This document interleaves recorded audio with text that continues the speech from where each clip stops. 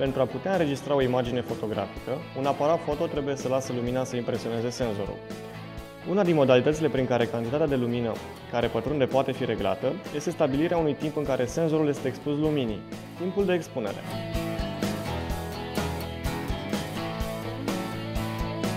În interiorul aparatului, ultima barieră între obiectiv și senzor este obturatorul, un ansamblu de două perdele metalice, care, la acționarea butonului de declanșare, se deschide în ordine pentru a expune senzorul. Timpul în care perdelele obturatorului stau deschise este numit timp de expunere și se măsoară în secunde. Pe lângă cantitatea de lumină pătrunsă, timpul de expunere influențează, în anumite condiții, și claritatea unei imagini. Folosirea unui timp de expunere prea lung, de exemplu, poate rezulta într-o imagine mișcată.